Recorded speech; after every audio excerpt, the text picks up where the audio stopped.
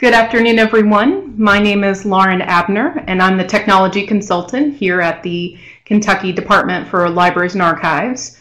Although when I say here, I'm not really in the building. This is my first ever webinar being presented from my home in South Frankfort. So still coming to you from the beautiful Frankfort area. Um, but just bear with us, folks. Uh, this is you know, kind of a first, and I think the setup is good, but we might have some issues. Could be my mic, could be noise in the background. Honestly, the biggest possibility is my cats. I really think my cats might uh, try to interrupt. I've got one who really loves technology, but is not the brightest kitty cat of all time. So we'll see what happens. And I'm very excited to be here with you today because most of the time I'm presenting about the E-rate program. Um, I'm the person who probably terrorizes one of your coworkers who really hates the E-rate program and looks stressed about it. It's because of me. Uh, but today I get to talk about uh, a different technology topic, talking about privacy. And I'm very excited that there are so many different names um, in the webinar today, in the chat pod. Uh, so hopefully um, you'll get accustomed to my weirdness uh, pretty quickly um, since maybe you've not had a presentation with me before. Um, but I look forward to hearing what you guys have to say in the chat. All right, so I tend to overpack my presentations. I, am always very ambitious about the amount of content I can realistically cover. So we're going to talk first about the general privacy landscape, um, some laws that have come into effect, sort of that legal landscape, talk about some current events that are impacting privacy, and then we'll shift more into how this specifically affects uh, the library community. And there are some slides that are pretty text heavy, have links or references. So some of those I may only hit briefly just for the sake of time so that maybe we can have a little more discussion at the end. Uh, so I do apologize about the brisk pace, um, but please, you know, with those slides that you can download at the end of the presentation, you can go back and check some of the references uh, later if needed. So why did I want to do this presentation? I have had privacy and public libraries on my mind for a while, and this was really the first opportunity I've had to send this presentation out into you know, the broader community. I did a little test run back in August with um, some librarians who attended KDLA's Public Library Institute, and it went over pretty well. Uh, again, too much content. I've tried to trim it a little bit, but otherwise, I think library uh, library staff, uh, like librarians, IT people, were all ready to talk about this, and it just seemed like in the news, um, I just kept reading about so many things that were really raising concerns and kind of caused me to think about what we um, as library staff are doing. Um, are we just sort of, you know, not thinking about privacy or deciding that we like the convenience of certain services over the fact that maybe it's a privacy problem. And I think it's something that we should really talk about. And I want to make sure that you understand that for this presentation, I am not coming at you from some ivory tower where I am just this paragon of privacy and I practice everything correctly and I'm here to you know, preach at you and, and tell you exactly what you need to do. I'm very much someone who enjoys a lot of library services and clicks OK on a lot of agreements, you know, on websites without really thinking about it. I definitely make my own compromises, but I am trying to be better. So this is more about starting the discussion. It's it's not about, you know, lecturing at you or waggling my finger. Okay, so first let's talk about a few laws that have come into effect that, in some cases, impact Kentucky libraries more directly or the world at large, more about you know, larger corporations. So some of you may be familiar with um, the Kentucky Revised Statutes. Section 61.931 uh, governs the um, personal information security and breach investigations um, as far as how different government entities need to handle um, personal, uh, personally identifiable information for um, their agency and the customers that they serve, and that if there's some kind of breach where um, personally identifiable information is exposed, uh, the procedure that has to be followed to investigate that and notify the public if needed. That went into effect um, in January 2015.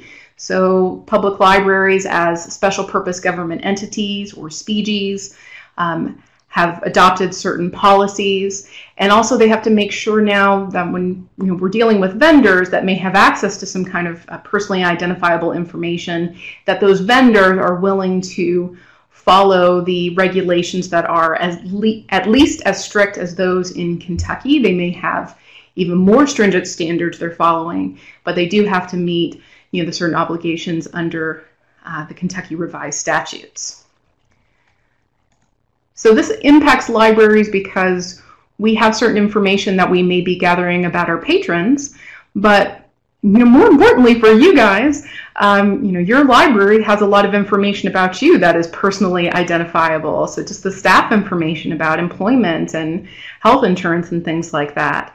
So when we're combining things like the account number, you know, a social security number, driver's license number, uh, things like that, depending on what you're gathering, that combination of items and you know how it's being stored. Uh, you still have to be really, really careful with that information and make sure that you're following certain procedures. Um, you know, in the event that you know something happens and your system is compromised, or you know the information is accidentally sent to you know, the wrong group of people. There are so many ways that this can happen. We have information on the KDLA website. If you don't, if you're not as familiar with, um, you know, your library's information security policy, we have, you know, a checklist to help you follow those procedures if something occurs. There's also um, support that you know we can have access to through the Commonwealth Office of Technology. That's the group that provides IT support for state government. Uh, but they're also really the agency involved uh, when there are any kind of breach investigations for state government or local government, including libraries. So we can certainly help out if that occurs. Now, taking a broader view, uh, one of the biggest laws that has really shaken up the privacy landscape is from the European Union, the General Data Protection Regulation, or GDPR, that went into effect almost two years ago.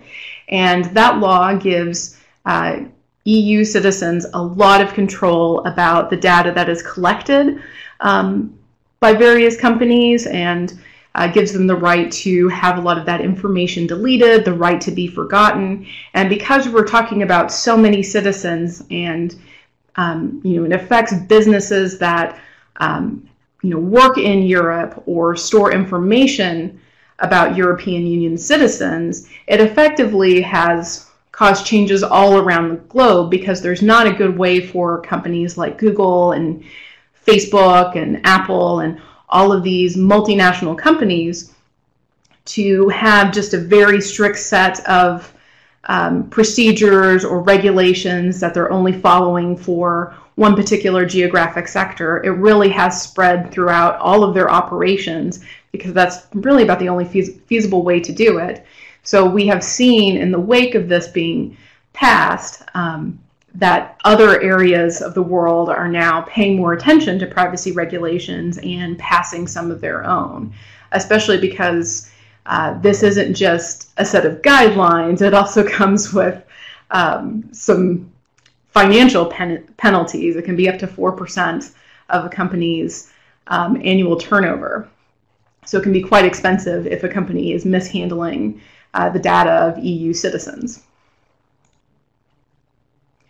So, in the wake of GDPR, um, California has passed its own law that's somewhat similar and in some ways um, a little bit harder for companies to follow. And because California is what the sixth largest economy in the world, uh, what California does ends up impacting the entire globe. So it's not just this one state; it affects really the rest of the United States and obviously all these country uh, companies that operate both in California and many other countries around the world. So this just went into effect on January 1st, 2020. got a link there to a uh, a website that talks more in depth about you know what this law does and and uh, impacted by it. Um, but it's pretty similar in the idea of you know needing to comply to delete information about California citizens, uh, the concept of data portability, basically being able to take your information, have it exported, and take it somewhere else if needed. Uh, let's see, and then of course it has uh, some penalties as well. Um, it really impacts companies that have a certain level of business in California. But again, we're seeing the ripple effects of this law, even if you know Kentucky public libraries aren't having to comply with it. You're probably dealing with a company that in some way is having to comply with um, this particular law in California. And of course, um, there are other states that have started focusing on breach notifications and, and other uh, regulations related to privacy. So I won't go through the list there, but just in the past couple of years, we've seen many states starting to pay attention to that and also starting to pay more attention to companies that um, handle data. So in Vermont, for example, um, they've begun regulating data brokers where they might be culling information from various sources and repackaging it to sell. And we're going to talk about an example of a company that is doing that with the library community. Um, so, you know, there are just a lot of effects that we're seeing because of um, these major laws that have passed. Okay, so past the legal part, which honestly makes me a little bit more nervous to talk about. I feel like there are so many provisos I can't describe it well. But gosh darn, there's a lot to say about current events relating to privacy. Um, and I think these are probably stories that you've all heard about. And honestly, we could have just a solid hour of, you know, talking about, for example, Facebook. So a lot of folks started paying uh, more attention to Facebook, really giving scrutiny uh, to their services and, and how they were relying on Facebook and giving too much information in the wake of the Cambridge Analytica scandal. So this was really first report, reported back in December 2015 that a British uh, consulting firm was gathering all this information from Facebook profiles uh, without consent of those users, and then was using that information in aiding certain uh, U.S. political campaigns. And so that was reported, but you know, really didn't take off. People didn't seem to notice or care. And then it kind of gained a lot more momentum in March 2018 when a whistleblower came came forward and revealed that the accounts of 50 million Americans had been compromised by Cambridge Analytica. And so last summer, um, the largest ever fine levied by the Federal Trade Commission, the FTC, uh, that was levied against Facebook. So $5 billion for deceiving users about uh, their privacy and how Facebook uses their data. Um, and they've been fined by other groups as well.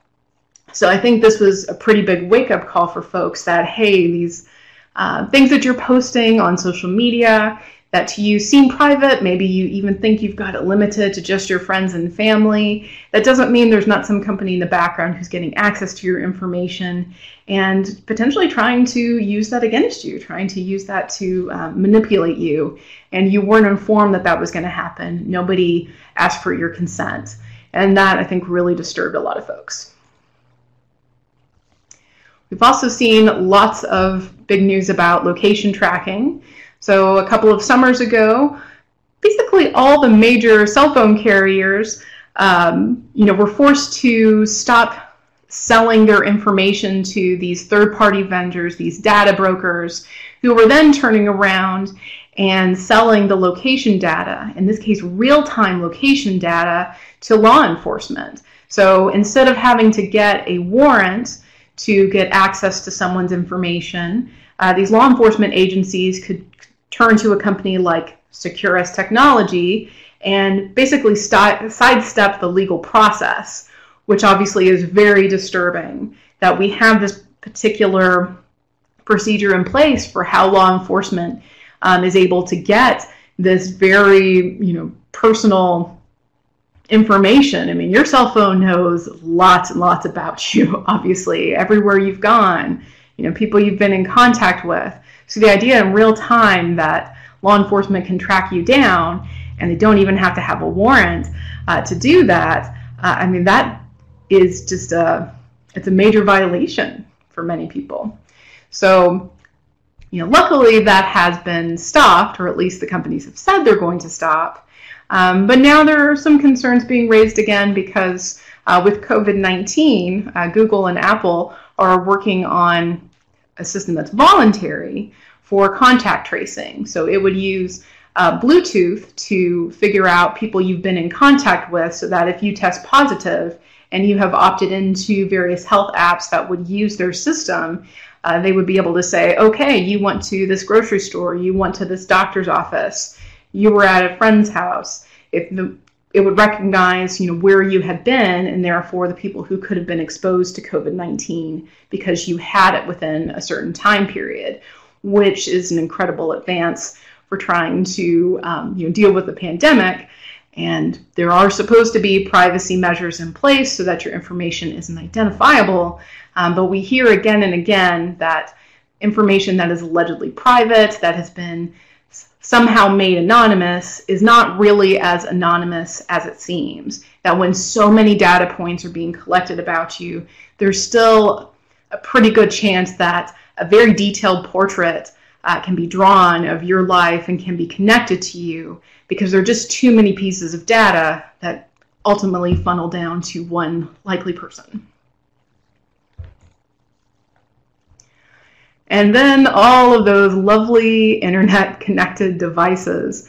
There was a point last summer, uh, last spring and summer, where I felt like every time I looked at the news, it was something else about um, all of these internet enabled speakers, you know, home devices like Alexa and Siri and, you know, Google Assistant. Something was always happening where we heard that uh, the device had been recording someone without their consent and that the information, the recording had been sent to contractors. In some cases, the information was accidentally sent to some other user of the same service that in no way, in no way related to the person who'd been recorded. And, uh, you know, a lot of very personal information, um, you know, very personal moments got recorded in this way. So just all last year, it was just apology after apology for all of these privacy lapses and for uh, using this information without, again, telling people that, you know, if you agree to use this device, you know, we might be sending, you know, this information halfway across the world to contractors who are going to listen to your personal information in an effort to make the service better. So we've seen these services have to change their practices, make things opt in, or you know, stop collecting information that way because there's been such an outcry over the use of personal information. Uh, interesting report, um, interesting and very sad, uh, from the UK. Uh, their Children's Commissioner published um, in November 2018 a report called Who Knows What About Me? And I thought this was pretty shocking. Um, the information that, or the amount of data that is collected about children uh, who don't really have control about, um, you know, what's being shared about their lives online before they're an adult. So in this report, uh, it estimated that by the age of 13, parents will have uploaded an estimated 1,300 photos and videos of their child. And then uh, by the age of 18, there are going to be 70,000 posts about these children. So some of them may be posts that they've made, but that could be, you know, mom and dad and grandma and grandpa, you know, posting about a child without their consent. And you've got this huge digital footprint for all this information about the child. So you're talking about your electronic medical records and all your electronic school records and all these social media accounts. So that effectively for you know young children growing up now, the concept of privacy is practically non-existent. And I didn't have room to get into it in this presentation, but I think we've all seen some of those articles about, you know, a child who has objected to you know, a, a mommy blogger, although I hate that term, feels a little bit sexist, but, you know, you've got some parent who is trying to make a living about, you know, blogging or, or vlogging, vlogging, whatever you call it, making videos about you know their their parenting experience, and understandably they talk about their child, show images of their child, and the child doesn't necessarily have a say in that. And we're starting to see a pushback, you know, where children are saying like, "Hey, just because I'm a child doesn't mean that I don't have rights." It doesn't mean that I don't deserve privacy, and how dare you post all of this embarrassing information about me? Uh, so I think you know, the Generation Z and whatever comes after Generation Z, I think we're going to see, you know, a shift in the way youth are approaching privacy because, you know, they're they're realizing as they're getting closer to adulthood that wait a second, you know, we didn't get to talk about all the stuff getting posted about us. We didn't have a choice in that matter, unlike our parents or you know our grandparents and maybe children should have more of a say. Maybe we should, just as a culture, decide not to post so much about children. So, having discussed some of the legal issues and some of the, the current events, um, it feels like in some ways, even though we've had these massive law changes um, and we've had all of these scandals and there's been outrage for a little while, you know, has much really changed? Um, do people stop using certain products or services? Do they really change their habits or their practices? And it kind of feels like not. So it sort of uh, raises the question does privacy really matter if we don't treat it uh, like it matters? And I think you know that my answer will be that yes, I still think it matters, even if we're not necessarily doing a great job. So I just wanted to uh, talk a little bit about why I think it matters. Because there are so many consequences when you don't have privacy. So, uh, one of the first that comes to mind is just social consequences.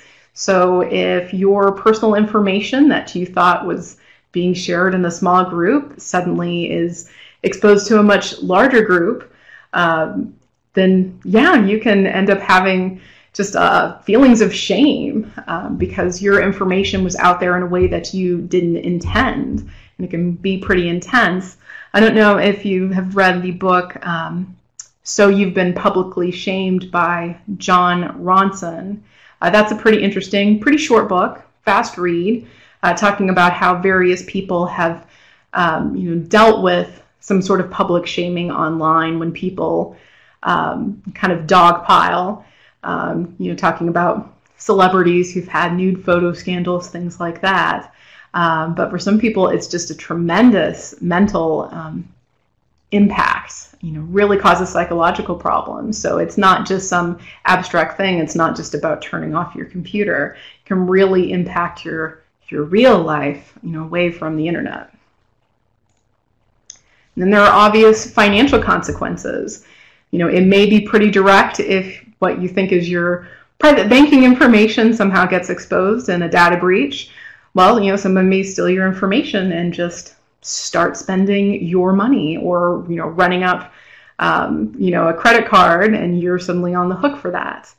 Um, or it could be that if, you know, something you thought was private, maybe you said something inflammatory and people find out, uh, then perhaps you lose your job. So there can be some very uh, specific direct financial consequences for the loss of privacy.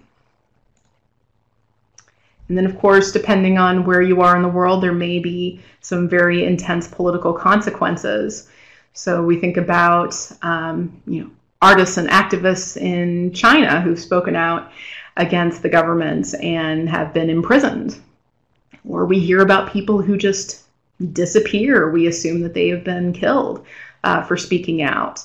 Uh, so if they think they're using a secure and private form of communication and it's not really secure and private, uh, then perhaps you know that's going to have an impact on their basic liberty, or it could mean their death in some cases.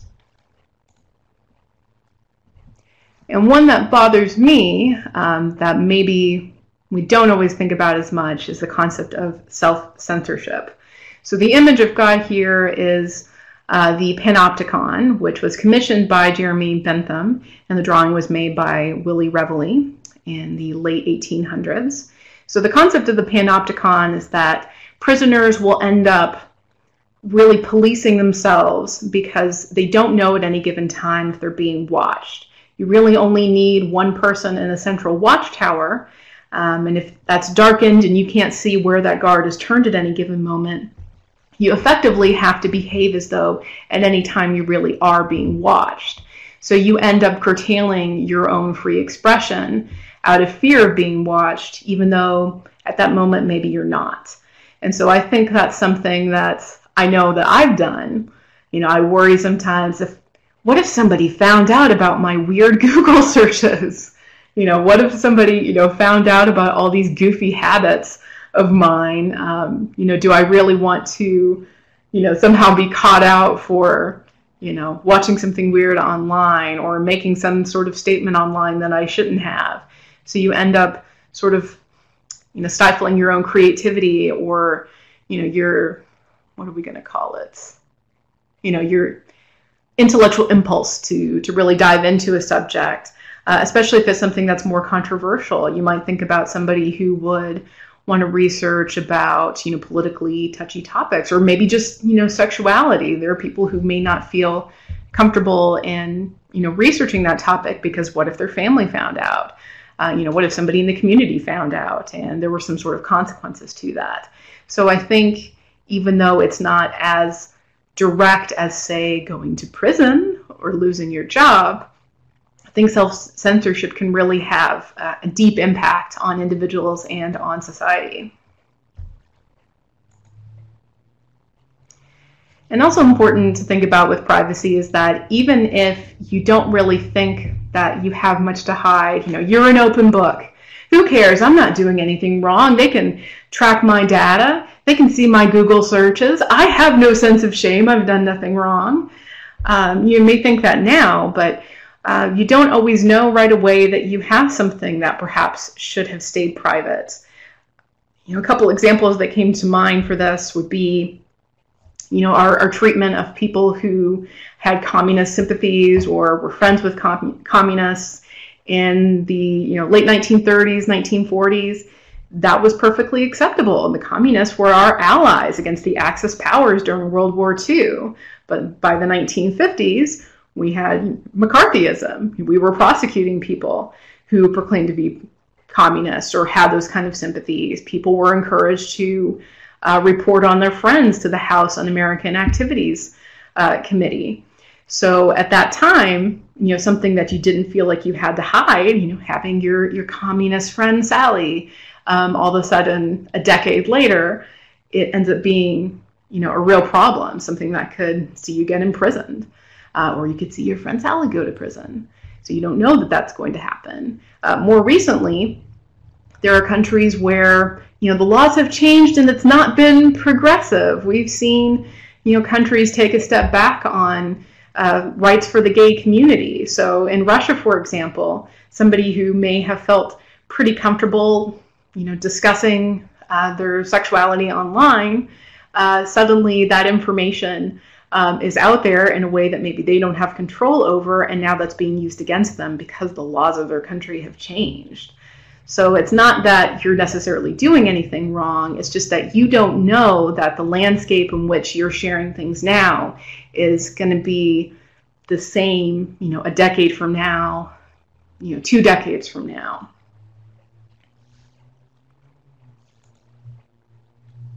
So now that we've talked a little bit about uh, the general privacy landscape, want to shift focus to how that pertains to the library community. So this uh, next part is a little bit text heavy, so I'm going to try not to read every single word on every single slide because I know that can be tedious, but I did want to get some into our professional background.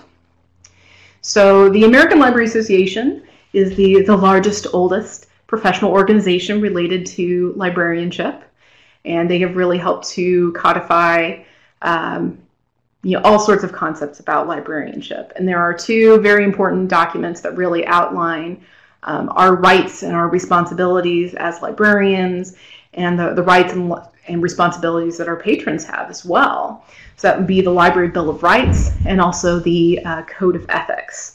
So in these two documents, I think we see a lot of, about the concept of privacy and also the concept of intellectual freedom and how those two concepts are intertwined. So from ALA just very briefly, the definition of intellectual freedom. Uh, those are the rights of library users to read, seek information, and speak freely as guaranteed by the First Amendment. And so when we look at some of the points in these two documents and also in the later interpretations of these documents, uh, we see that you can't really have intellectual freedom without privacy. Um, so you have a very negative impact on privacy when there's uh, a lack of you know, intellectual freedom. So it just kind of goes back and forth. Okay, so first up, the Code of Ethics. Uh, this was originally uh, passed in 1939 and was most recently amended in 2008. So this outlines just our various ethical responsibilities. And I wanted to highlight just a few uh, that really relate to privacy and intellectual freedom. So, point number two uh, we uphold the principles of intellectual freedom and resist all efforts to censor library resources. So, I would hazard a, hazard a guess that many of you in this webinar today um, have a master's in library science or have taken some classes toward that, or at the very least, um, you know, you became interested in working in the library community, even if you're not directly a librarian. So probably you're fairly familiar with discussions or debates about uh, censorship. I remember in all the foundation courses, it seemed like no matter what the course was, even if it was something related to cataloging, it always came back to some debate about censorship. Um, and I sort of thought, oh gosh, do we really need to have this discussion again? Uh, but apparently we did. I remember there were some folks who um, seemed pretty pro censorship, kind of a curious stance for a librarian, um, especially when you read this code of ethics. But um, you know, it's here in black and white. I think there, there's not a lot of wiggle room on this particular point. And then point three, we protect each library user's right to privacy and confidentiality with respect to information sought or received and resources consulted, borrowed, acquired, or transmitted. Uh, so that's also, I think, a very clear statement. Um, in Kentucky, I can't remember the number of the Kentucky Revised Statute, but you know, patron records, you know, your borrowing history, that's not something that's just subject to an open records request. Uh, you know, law enforcement can get access to, you know, some information, but in general, um, you know, we see in law and in our code of ethics here that um, the information about what you've sought from your library, uh, the books that you've borrowed, the information you've consulted, just that information in and of itself is considered private, which I love. And then point six, this is one we'll come back to in a little bit. Point six, we do not advance private interests at the expense of library users, colleagues, or our employing institutions. So this maybe doesn't immediately sound like it pertains to privacy, but I think it really comes into play when we think about uh, the various third-party services that libraries use. And the idea that perhaps we're buying into these services and ignoring some of our other responsibilities just because it's convenient. So I definitely think this is pretty important. Then on to the Library Bill of Rights, also originally passed in 1939 and most recently amended last year. So this expands on the importance of avoiding censorship in providing library services. So just a few brief points. Article 3 of the Library Bill of Rights. Libraries should challenge censorship in the fulfillment of the responsibility to provide information and enlightenment. And then point four, libraries should cooperate with all persons and groups concerned with resisting abridgment of free expression and free access to ideas. So not just I like that in this Library Bill of Rights, it's not just about what do we do, it's about taking an active role as an advocate to ensure free exp- expression for our patrons. So it's very much giving um, you know, us a stance of um, you know, not being passive. We're going to be very active in our support of these concepts. And we're going to work with other groups to make sure that those concepts are advanced.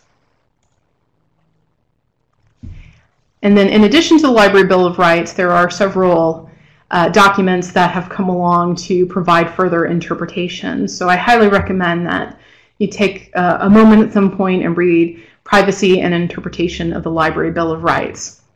So it comes right out with the, the opening statement privacy is essential to the exercise of free speech, free thought, and free association.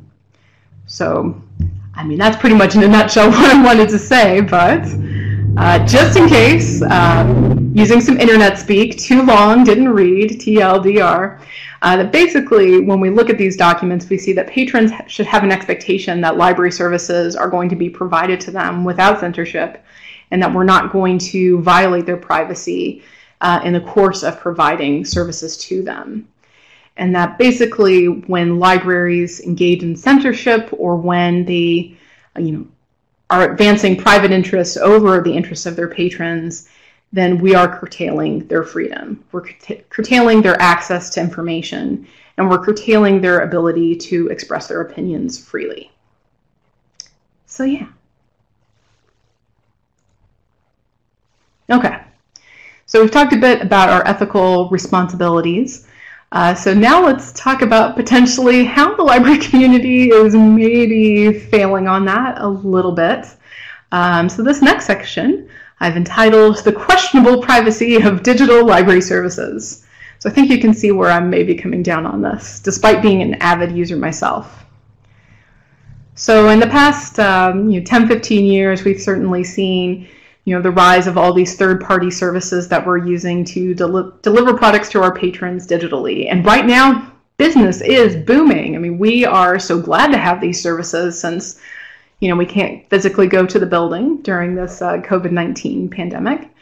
Um, you know, and I have used at some point every single one of the services on the screen there. And this is just a sampling, there are so many more. This is a huge part of the, the library ecosystem, um, are these third party services, but they don't come uh, you know, without certain drawbacks when we consider what we said our, our ethical responsibilities were in those foundational documents from the American Library Association.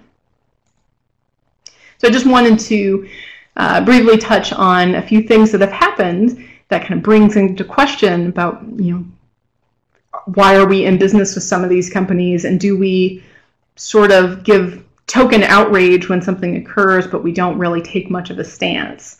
Uh, there's sort of a mixed history there of libraries really kind of uh, drawing a line in the sand and saying this is too far, you know, like no more. Uh, so one of the bigger uh, instances of this is Adobe Digital Editions. So back in 2014, uh, the desktop or laptop version of Adobe Digital Editions 4.0 uh, was discovered to be sending lots and lots of unencrypted information about library patrons and their reading habits, and it was just getting posted in plain text on a server. So a lot of it, um, you could take that information and piece it together and really learn a lot about an individual person's reading habits and potentially even identify uh, the person if you really took a good look at the information. Uh, so the American Library Association, through their, um, let's see, what was it, the Digital Content Working Group, um, you know, they came out strong and said, you know, this is outrageous. You know, we cannot stand for this. You know, this needs to be fixed right away. There's no reason to be doing this. And you know, Adobe came out and you know they added encryption and they said they'd fix the problem. But that doesn't mean that there's not still a lot of information you know being transmitted about patrons. Uh, use of ebooks through the service. Uh, I do want to point out that this really affected just the desktop version of this app. This wasn't um, you know this doesn't directly relate to borrowing ebooks from from Overdrive. Um, but basically, Adobe said, ah, you know, this is within our privacy policy. You know, we said, you know, we could do this. Um, and so, as long as they said it in the policy and people just agreed, it's not really a problem, essentially. Um, but really, there's not any reason that Adobe needs to collect all of this patron information, this readership information, you know, where you started and stopped in books. They don't have to gather that and then take all that data and export it and store it and do other things with it later. They don't need to do that in order to provide the service that libraries are providing. They're just doing it because they can and probably because that information is somehow useful in some other monetary way to them uh, down the line. And as far as I could tell, you know, after the app was updated, you know, and people had had their say. We just sort of went back to business as usual. Did we stop using this? No, no. I mean, still just out there. And, you know, there doesn't seem to have been much in the way of consequences for this. More recently, uh, Kanopy, which is a video streaming service, has uh, kind of the indie titles, lots of classics. You know, I've used that through my local library. Uh, they had a, a, data breach last year. I ended up getting an email about that, um, where some of the users' IP addresses and some of their viewing activity ended up being, um, you know, posted on a website. It was exposed out there unencrypted, you know, for people to find. And uh, Kanopy claimed at the time that it was just a very small number of users, you know, 162 um, users, you know, were affected by this. Um, but then, you know, security researchers said, well, no, there seems to be a lot more data than that. And there's also a lot of very specific information. You could really dig down into the data and find out, you know, where somebody was and what they were watching and, you know, just it really paints a more specific and kind of creepy picture of you know what people were watching. So this again sort of just slipped under the radar. I think a lot of people just didn't even hear about it, and I definitely you know paused a moment or two before using Kanopy again. Um, have I stopped using it? No, because I am a hypocrite and I'm here along with you, just wanting to be better about privacy and maybe not doing it much myself. Uh, this one was pretty interesting, also from uh, late last summer, kind of into the fall, uh, with Santa Cruz Public Libraries. So there ended up being a grand jury investigation about their use of a product called Gale Analytics on Demand. And with Gale Analytics on Demand, they take credit information from Experian and all the demographic information from Experian, and then they can sort of combine that with your, your patron database to help you make uh, create marketing reports. So you say, look at a particular area, you know, where your patrons are living, kind of see, look at the demographics, and maybe that helps you determine, do we need to build a branch there? You know, what kind of services do we need to provide? What's kind of, you know, programming? What sort of hours? Things like that. And, you know, so this grand jury that investigated basically said this was a violation of the library system's own you know, privacy policies and that basically they didn't, you know, ask their patrons about doing this. There's also sort of the concern of, you know, you're taking information that by itself isn't necessarily that revelatory. You know, you've got a name and an address. But then when you start combining it with credit information about your household and who lives there and how much money you make and, um, you know, probably, you know, race, ethnicity, you know, all these other factors, you've taken what was not very specific information and suddenly made it much more personal. And you know, you didn't tell your patrons you were doing that. You know, I feel kind of violated if I found out that you know my library were doing something like that about me. I don't know, you know, what Experian you know would necessarily say about me, and my data has been exposed. I think was it Experian, Equifax, all of them. You know, it seems like everybody's been involved in a breach. Um, but you know, this that was a pretty interesting and detailed report from the grand jury investigation. And so the library ended up having to, they had already at that point stopped using the service. Um, but, you know, it was a pretty thorough scolding that they got via this grand jury about their use of that product that maybe they should have thought about more before they paid for it. Now, here's an interesting one. Uh, so back when I did this presentation in August 2019, for um, the Public Library Institute. Um, we were just hearing about uh, the pushback against uh, lynda.com and its rebranding to LinkedIn Learning.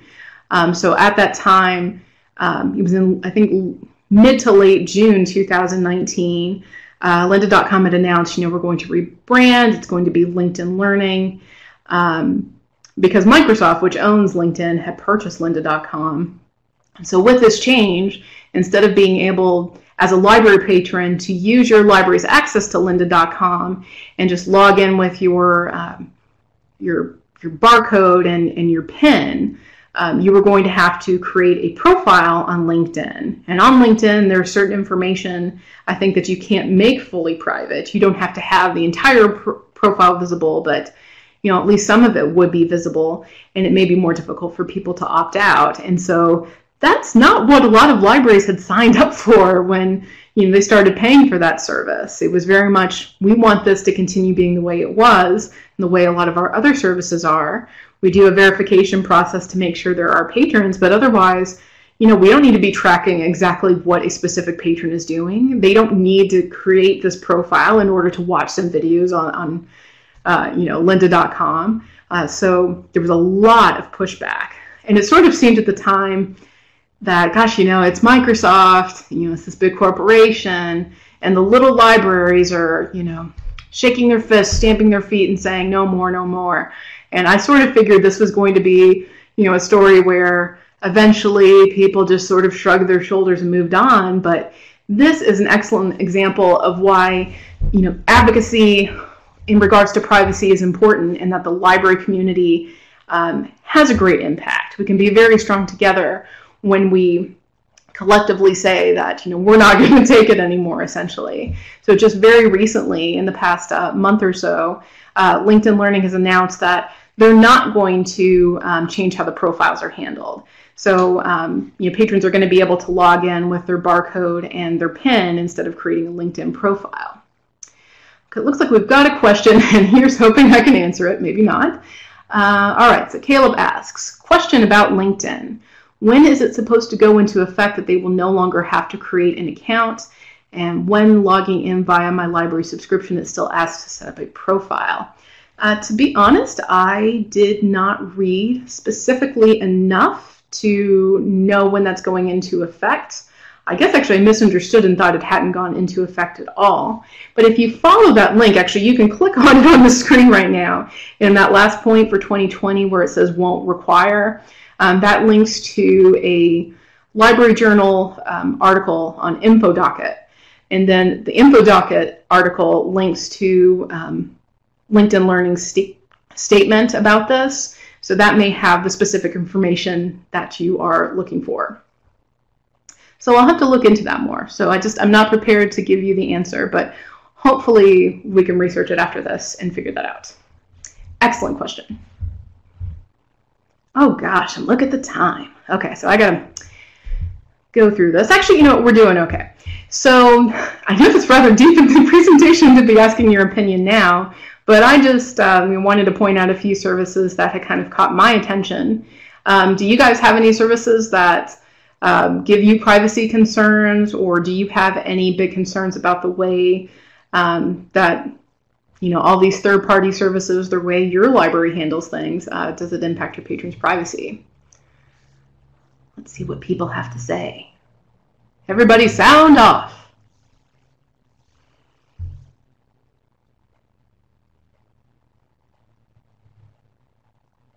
I wish I had some music to play right now. All I can hear is my clock ticking. I don't know if that picks up on the recording. I see that multiple people are typing. This is very suspenseful.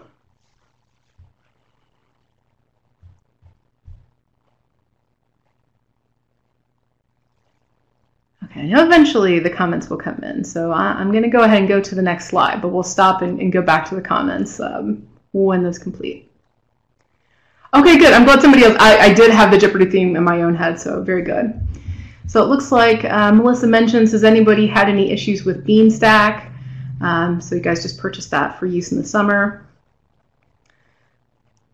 So Melissa, I may have to contact you afterward. I know there have been there was one issue that a, particular library had with Beanstalk. It was several years ago, maybe three or four, uh, where accidentally, I think, somebody's information uh, got exposed. It was minor. It wasn't considered, a, you know, a breach that you know rose to the level of having to go through that process we talked about for KRS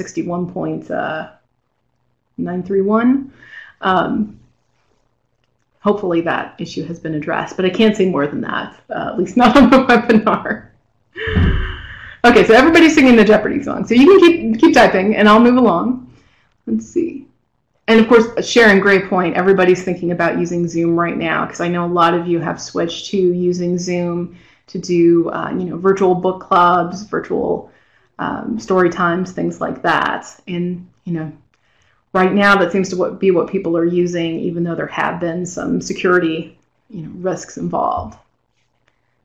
Okay, and Julie asks, what about gaming platforms for young adults? Any issues? Uh, and then the physical registration cards. A lot of libraries have done away with physical re registration cards. They just directly enter somebody into the system or they immediately shred the physical uh, registration information. Excellent question. Privacy for children. Amanda Wheeler, thank you for bringing that up. It's not necessarily my, you know, I, talk about technology issues. I don't really focus on, you know, youth services the way our youth services consultant does. But I think privacy for children has been overlooked. I think about that a lot in terms of uh, the Children's Internet Protection Act, which many libraries have to comply with, and a lot of schools comply with to get their E rate funding or to get certain federal funding for internet access or computers. And it seems like people don't care about the intellectual freedom of children, even though there really is a legal basis for that. I would love to do more research, and maybe someday do a presentation on that if anybody's really interested in that topic and wants to maybe team up, I'd be interested. Okay, and you want to ask for more on Beanstack. Okay, and then questions about Discord. Okay, it sounds like we're going to need to continue some of this uh, conversation later on. So let's talk about the time we've got left. Just a little bit about, um, you know, we've seen some of the compromises some, some people in the library community have made, maybe all of us are making. Uh, but there are things we are doing as librarians to push back and to try to defend uh, patrons' privacy or the concept of privacy more generally. So just run through these quick, quickly. Um, so I was really pleased to see several years ago, I think now it's been probably four or five years ago, um, the DC Public Library uh, did a programming series related to um, 1984, George Orwell's novel, and very much the concept of Big Brother. So they were trying to raise awareness about privacy issues for their patrons. Just kind of had a whole series of activities, and I really like their their advertising and uh, that they they've put up. It doesn't look like your traditional library advertising. And then San Jose Public Library, uh, they have a really cool tool, if you've not gone to look at it, the, the Virtual Privacy Lab. Uh, so when you go through the Virtual Privacy Lab, you can select from a list of um, different privacy topics that interest you, so you can generate your own custom privacy toolkit. Uh, so it can teach you about those various concepts and things that you can do to improve your own personal privacy, you know, the way you handle your information online. I also really like linking to the Virtual Privacy Lab because on that page, San Jose Public Library has linked to their very nice privacy policy. And it's their general policy. It's not just about the library website, about how they handle all of their patron information. And they also, I think very interestingly, have linked to their vendor privacy policies. So all of these third party vendors they work with, they link to the privacy policies for those companies as well, which is a step that a lot of libraries don't take. I'm sure there are a lot of third party vendors that are in use. And then there are some libraries um, Chicago Public Library, Vancouver Public Library, New York Public Library.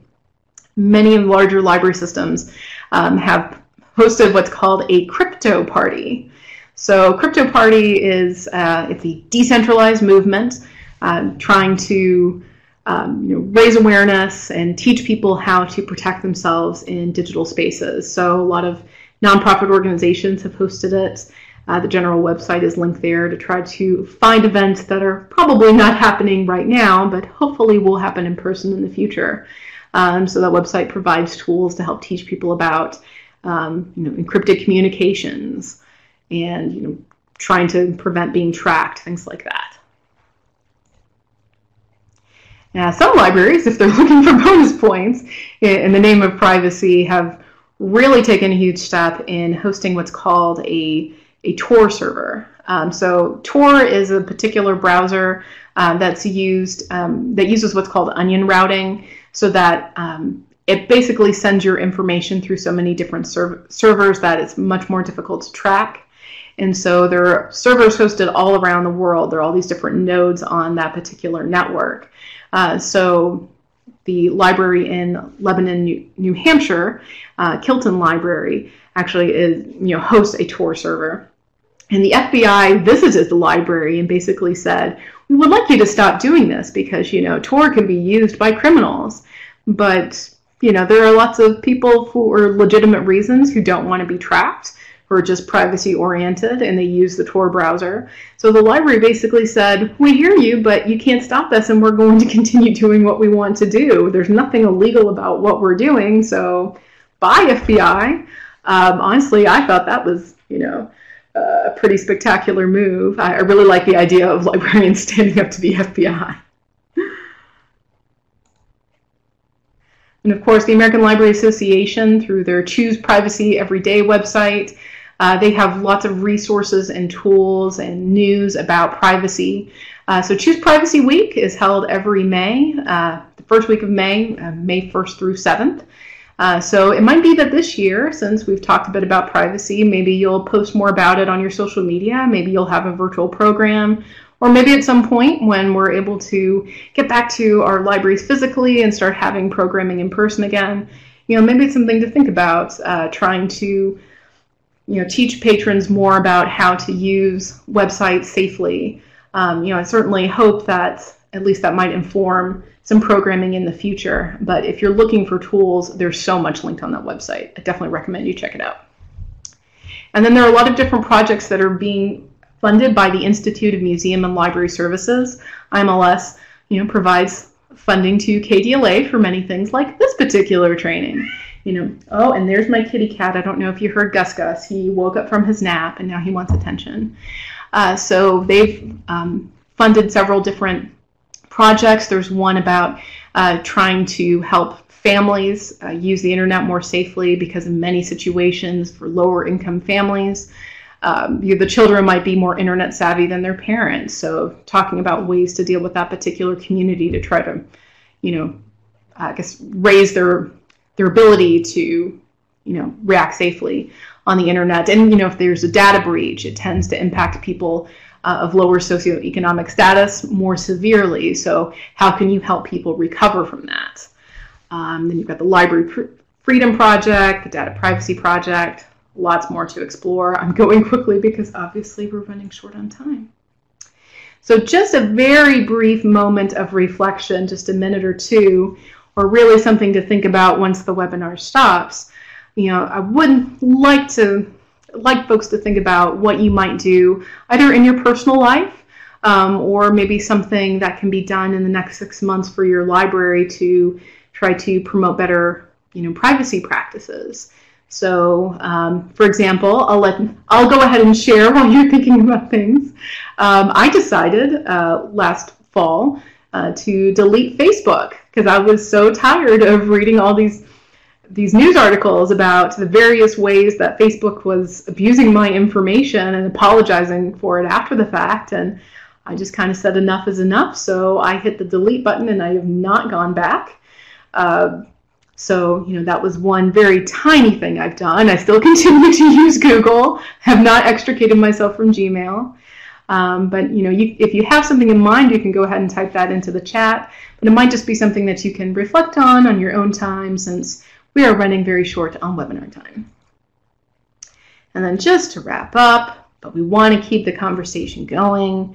Uh, the big takeaway, uh, I think, is that just because we can um, buy certain services to provide to our patrons, just because we've always done something a certain way, or it's easier to do something a certain way, uh, you know, doesn't mean that's what we should be doing. You know, we took a look at, you know, our code of ethics, at the Library Bill of Rights, and it's pretty clear about the kind of stance that, you know, librarians as a group should be taking. And it seems like we've kind of stepped away from that because we love some of those digital services that are so easy to use, even if those companies weren't founded on the same principles that libraries were founded on. So that would be kind of my big takeaways. Let's think about whether we should be doing this.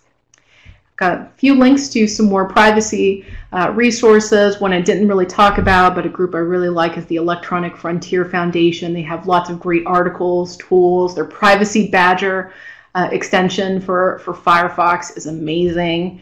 It also works for Chrome. If you're not already a member of the Kentucky Tech Listserv for uh, public library staff who work with technology, uh, maybe you teach computer classes, maybe you're the IT coordinator, uh, or you just have an interest in it, you know, please sign up. You can contact me directly, or there's an email you can uh, send a blank message to to subscribe. Um, pretty soon, in the next uh, couple days, we will have the archived recording of this presentation posted to the KDLA archive webinars page. And we have many other archive webinars, so you may want to take a look, especially if you're working on getting your CE credit finished when you're having to uh, work from home. And then a big thank you to the Institute of Museum and Library Services for providing funding to KDLA. That's how a lot of our training is provided is through their funding. So, so bless you, IMLS. And then at last, we get to my contact information. I also have a link to the survey. You'll receive that via email as well. And I've brought up the files pod so you can download the full page slides that have working links, or you can download the handout version that has two slides per page, easier to to print. Uh, so if you have any additional questions or comments, uh, we'll hang out here for a moment, but uh, we can go ahead and stop the recording. So thank you very much for your time.